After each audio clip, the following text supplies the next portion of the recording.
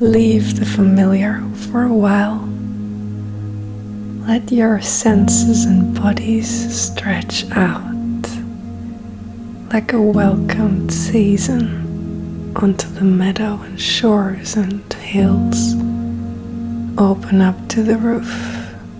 Make a new watermark on your excitement and love like a blooming night flower.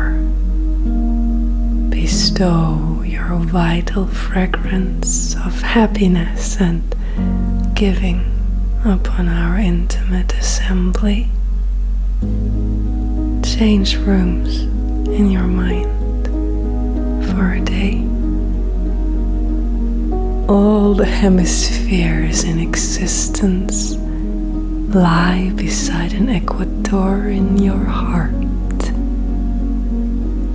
Greet yourself in a thousand other forms as you mount the hidden tide and travel back home. All the hemispheres in heaven are sitting around a fire, chatting, whilst stitching themselves together into the great circle inside of you.